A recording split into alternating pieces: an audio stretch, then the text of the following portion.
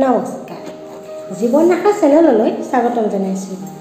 আজি মই এই ভিডিঅ'টিত আৰ্থিক উন্নতিৰ কাৰণে পশু পক্ষী পোহাটো কিমান লাভজনক হয় তাৰ বিষয়ে আজি আলোচনা কৰিম। আপোনালোকে কিন্তু ভিডিঅ'টো শেষলৈকে চাব লাগিব। চালেহে বুজি পাব আধৰুৱাকৈ চালে বুজি নাপায় সম- সম্পূৰ্ণ চাব মনোযোগ দি চাব। ভাল পালে লাইক কৰিব আৰু শ্বেয়াৰ কৰিব। আকৌ এনে ভিডিঅ'সমূহ পাই থাকিবলৈ হ'লে মোৰ চেনেলটো চেনেল জীৱন ৰেখা ছাবস্ক্ৰাইব কৰি সেই ওচৰতে থকা বেল আইকনটো টিপি দিব। তেনেহ'লে আহোঁ ভিডিঅ'টোৰ মাজলৈ। বেছি পলম নকৰোঁ আৰু। বন্ধু বান্ধৱীসকল আৰ্থিক উন্নতিৰ কাৰণে পশু পক্ষী পোহাটো বহুত লাভজনক আৰু শুভ ফলদায়ক পোৱা যায়। আমাৰ জীৱন ধাৰণত আমি গম নোপোৱাকৈ কিছুমান পশু পক্ষীয়ে আমাক সকলো ক্ষেত্ৰতে সহায় সহযোগিতা আগবঢ়াই আহিছে। আপুনি জানেনে? আমাৰ পোহনীয়া জীৱ জন্তুৱে আমাৰ জীৱনত কি ধৰণে কেনেকৈ কি ভূমিকা পালন কৰি আহিছে কোনবোৰ পশু পক্ষীয়ে আমাক সহায় কৰে পশু পক্ষীয়ে অনিষ্ট শক্তিক ৰোধ কৰাৰ অদ্ভুত শক্তি আছে পশু পক্ষীৰ।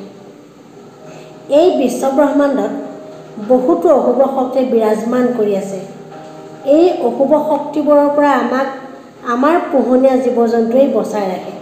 আমাৰ সকলোৱে মানে মানৱ জাতিৰ আটাইতকৈ বিশ্বাসী জন্তু হ'ল কুকুৰ।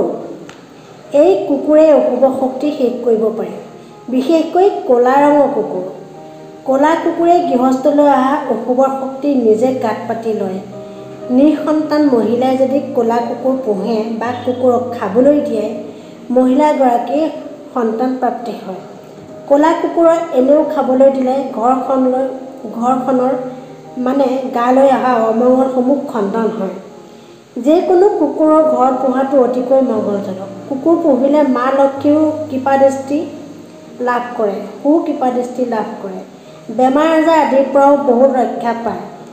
কুকুৰ ভৈৰৱ বাবাৰে বাহন। কুকুৰক মৰম কৰিব লাগে। কুকুৰে আমাৰ কামত কিমান সহায় কৰে ঘৰলৈ কোনো অচিনাকি মানুহ আহিলেই ভুকি গৰাকীক জনাই দিয়ে। আৰু বহুত আছে বহুত আছে ক'বলৈ কৈ কৈ অন্ত নাই গতিকে কুকুৰ পুহিব মৰম কৰিব। কুকুৰ আমাৰ উপকাৰী জন্তু। আৰু হৈছে কাউৰী। কাউৰীক মই পুহিবলৈ কোৱা নাই কিন্তু খাদ্য খাবলৈ দিব লাগে। কাউৰীক খাদ্য খাবলৈ দিলে শত্ৰু নাশ হয় অনিষ্ট হোৱাৰ পৰাও বচাই ৰাখে। কাউৰী আমি পুহিব নোৱাৰোঁ ই বহুত ভয়াতুৰ মানুহ দেখিলে পলায়ে যায়। মনুষ্য জাতিৰ পৰা ই সদায় দূৰতে থাকে। কাউৰীয়ে এটা চকুৰে ভালকৈ দেখা পায়। ভগৱান শুক্ৰও এটা চকুৰে ভালকৈ দেখা পায় মানে এটা চকুৰেহে চায়। আকৌ ভগৱান শনিৰো দৃষ্টি এটাহে। সেয়েহে কোৱা হয় ভগৱান শনিক সন্তুষ্ট কৰিবলৈ হ'লে কাউৰীক খুৱাব দিব লাগে খাবলৈ দিব লাগে। কাউৰীক আহাৰ দিব। ঘৰৰ মুধত বহি যদি কাউৰীয়ে কা কা কৰে তেতিয়া আপুনি গম পাব যে ঘৰলৈ আলহী আহিব। আকৌ যদি মা কাউৰীয়ে ঘৰৰ উত্তৰ দিশত ঘৰৰ মুধত বহি কা কা কৰে তেন্তে কোৱা হয় ঘৰখনলৈ মা লক্ষ্মী আগমন হৈছে।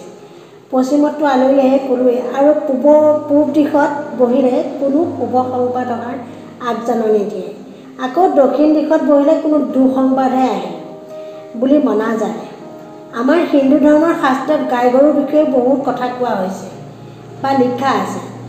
শুক্ৰ গ্ৰহ সুন্দৰী নাৰীৰ লগত তুলনা কৰা হয়। গাই গৰুৰ বিষয়ে উল্লেখ আছে। গতিকে শুক্ৰ গ্ৰহৰ অনিষ্ট কৰা শুক্ৰ গ্ৰহৰ পৰা অনিষ্টৰ পৰা বা দুখৰ পৰা বাচিবলৈ হ'লে গাই গৰু দান কৰিব লাগে। মান্যতা অনুসৰি কোনো ভূমি যদি কিনিব খোজে আৰু সেই ভূমি যদি কোনো অদৃষ্ট অশুভ শক্তি থাকে তেন্তে ভূমিত সেই ভূমিত গাই গৰু পোৱালীৰ সৈতে পোন্ধৰ দিন যদি বান্ধি ৰাখে তেন্তে সেই ভূমি ভূমিডোখৰৰ পৰা আসুৰী শক্তি বা কোনো নিগেটিভ শক্তিৰ পৰা মুক্তি পায়। নাইকিয়া হয়। আৰু হৈছে ভাটৌ চৰাই। ভাটৌ চৰাই সেউজীয়া ৰংটো বুধ গ্ৰহৰ লগত তুলনা কৰি পোহা হয়। বুধ গ্ৰহৰ কুদৃষ্টিৰ পৰা বাচিবলৈও আকৌ ভাটৌ চৰাই পুহিলেও লাভদায়ক ফল পোৱা যায়। অৱশ্যে চৰাই বান্ধোনত ৰখাটো ভুল পাপ হয় গতিকে সজাগ নোথোৱাকৈ পুহিব লাগে। আৰু হৈছে ঘোঁৰা। ঘোঁৰা ঘোঁৰা যদি যিবোৰ লোকে পুহিব পাৰে বা পুহিছে তেওঁলোক শনিৰ কুদৃষ্টিৰ পৰা ৰক্ষা পাই আহিছে। যিসকলে ঘোঁৰা পুহিব নোৱাৰে তেওঁলোকে ঘোঁৰা ঘোঁৰাৰ পাৰিলে ক'লা ঘোঁৰা ল'ব।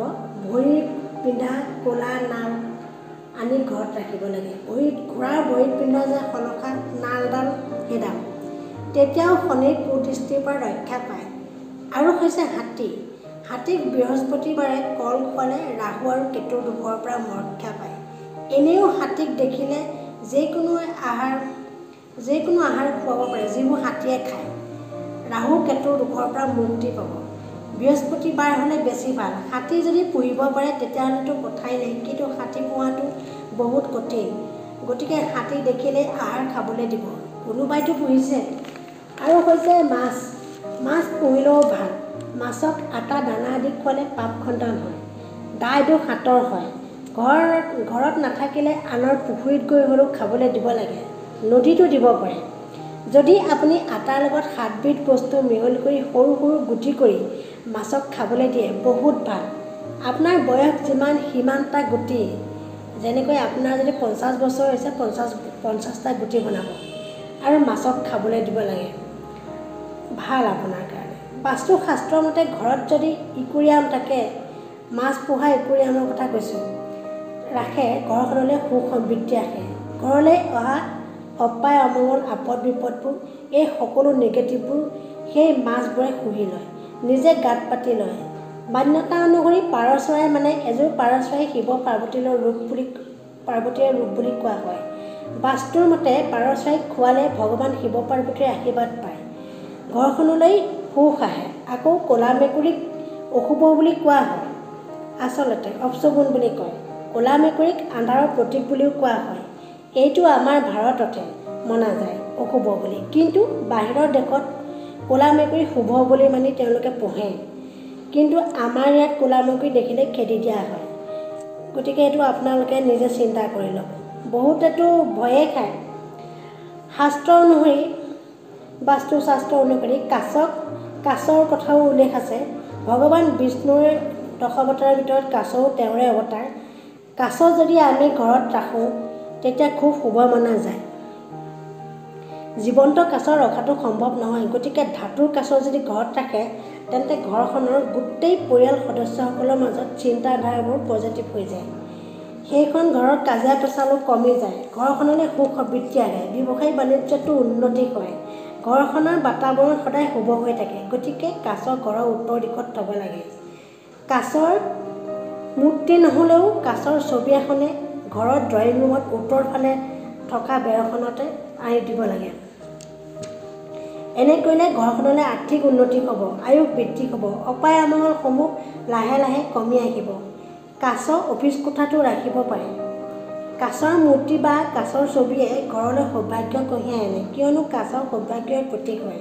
বন্ধু বান্ধৱীসকল আশা কৰোঁ ভিডিঅ'টোৱে কিছু উপকৃত কৰিছোঁ বুলি আশা কৰিলোঁ।